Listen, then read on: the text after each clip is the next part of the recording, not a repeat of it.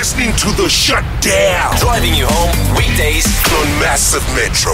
Massiv Metro. And as we promised, we have RJ Benjamin in studio and super excited to have you here, especially because not only are you known for your music, but also you're musical genius. You've taught so many people how to sing and, and, and, and just teaching them technicalities on music. But how are you? Just how's your Friday doing? Oh, sure. My, you, you know what? My, my, my Friday was supposed to be really busy. I'm Yeah. working. I'm working on a new reality show. Okay. Um, I think I can hype it up. It's called the Remix SA. Uh, so it should be on screens soon. Okay. Um, uh, uh, and um, and it's been chaos. You know, like like whenever you start a new show that's never been done before, you're kind of figuring it out. Uh, and it's in its early phases now, but I have been working with new talent, which is exciting.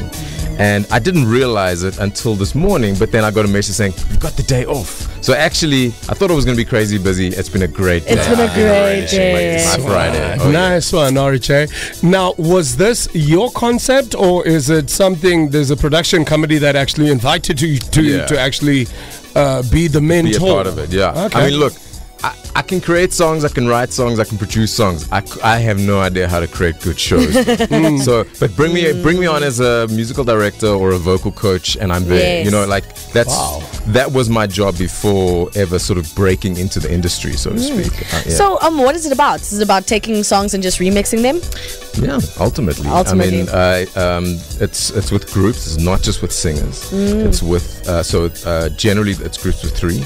There's a vocalist, a DJ, producer, and an instrumentalist. Oh. And each week, uh, these groups basically compete against one another. And the challenge is to basically say take um, I don't know a Bruno Mars song and and make it into Beat the beat time. I don't That's know. a beat the beat. That's Look at beat this. the Look beat. at You guys stole our concept. Oh no!